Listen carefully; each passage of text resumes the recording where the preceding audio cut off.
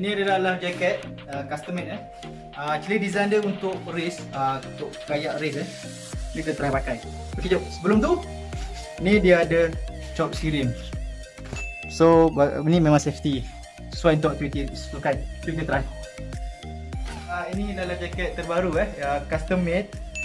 Tengok ni, ada chop belakang semua. Uh, apa kelebihan dia? Okay, dekat depan ni ada mesh pocket nampak eh.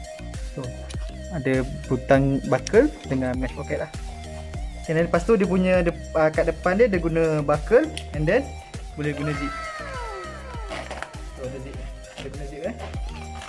Lepas tu lagi dia punya dia punya kat bahu ni strap ni boleh adjust. So nak ketatkan tekan just tekan je. Tepi pun sama nampak ni. Tepi ni kalau nak ketatkan kita boleh tarik lah. Nampak tu?